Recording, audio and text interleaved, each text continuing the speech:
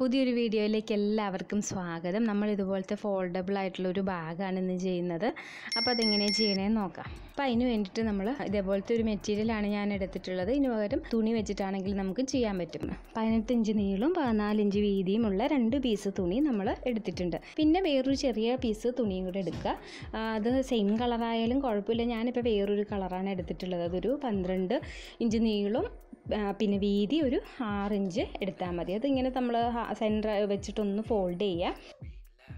എന്നിട്ട് നമ്മൾ അടിയിലൊരു ആർച്ച് പോലെ വരച്ച് കൊടുക്കുക. ഏകദേശം ഒരു ഒന്നൊന്നര ഇഞ്ച് വീതിയൊക്കെ മതി അതിന്. അത് നമ്മളിങ്ങനെ കട്ട് ചെയ്തെടുത്തു. ഇനി അതിന് ചെറിയൊരു പീസ് തുണി എടുത്തിട്ട് ചെറിയൊരു പോക്കറ്റ് പോലെ തയ്ച്ച് കൊടുക്കണം. മൂന്ന് സൈഡ് തയ്ക്കുക മോൾ ഭാഗം ഒന്ന് മട കണ്ടോ? ഇതുപോലെ ചെറിയൊരു പോക്കറ്റാക്കി എടുത്തിട്ടുണ്ട്.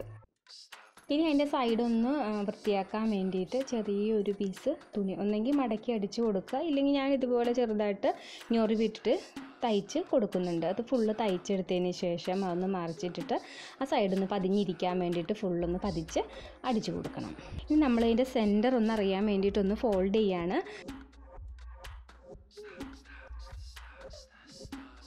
വേണ്ടിയിട്ടൊന്ന് ഫോൾഡ് ചെയ്യാണ്. ആ ചെറിയ പീസും നമ്മൾ സെന്ററിൽ വെച്ചിട്ട് ഫോൾഡ് ചെയ്യുക. എന്നിട്ട് ആ മടക്കിയ ഭാഗം കറക്റ്റായിട്ട് വെച്ചിട്ട് സ്റ്റിച്ച് ചെയ്ത് കൊടുക്കുക. സ്റ്റിച്ച് ചെയ്യുമ്പോൾ നമ്മൾ താഴെ ഒരു ആർച്ച് പോലെ വരച്ചെടുത്തിട്ടുണ്ടല്ലോ. ആർച്ച് പോലെ നമ്മൾ സ്റ്റിച്ച് ചെയ്തെടുത്ത ഭാഗം അങ്ങോട്ട് തയ്യൽ പോകണ്ട ഇവിടെ ഇങ്ങനെ നേരെ തയ്ച്ചെടുക്കുക. എന്നിട്ട് റെക്റ്റാങ്കിൾ ഷേപ്പിൽ തയ്ച്ചെടുത്താൽ മതി. അല്ല ഇവിടെ ഇങ്ങനെ ഓപ്പൺ ആയിട്ട് തന്നെ കിടക്കണം.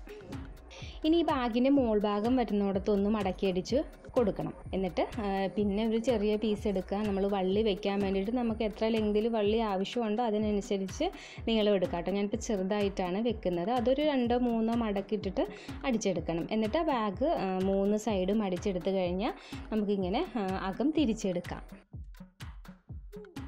നമ്മളതിന്റെ അകം തിരിച്ചെടുത്തിട്ടുണ്ട്. അപ്പോൾ ഇതുപോലെ നമുക്ക് ബാഗ് കിട്ടി. ഇനി ഒരു ബട്ടൺസ് ഞാൻ തയ്ച്ച് പിടിപ്പിക്കുന്നുണ്ട്. നമ്മൾ ഈ പോക്കറ്റ് പോലെ വെച്ചിട്ടില്ലേ?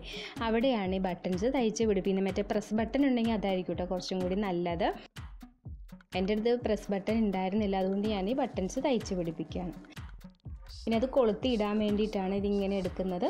ചെറുതായിട്ട് ചെറുതായിട്ട് കണ്ടു ഇതുപോലെ തിന്നായിട്ട് അടിച്ചെടുക്കണം.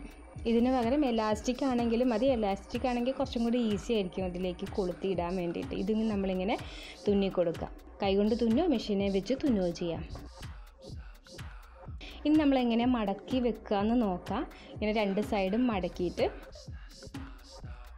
നമ്മൾ ഈ തുന്നാതിട്ടിരിക്കുന്ന ഭാഗം അങ്ങനെ ഓപ്പൺ ആയിട്ട് തന്നെ കിടക്കുക.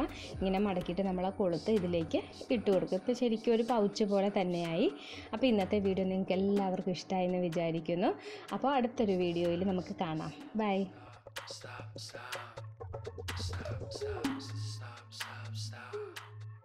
Thanks for watching.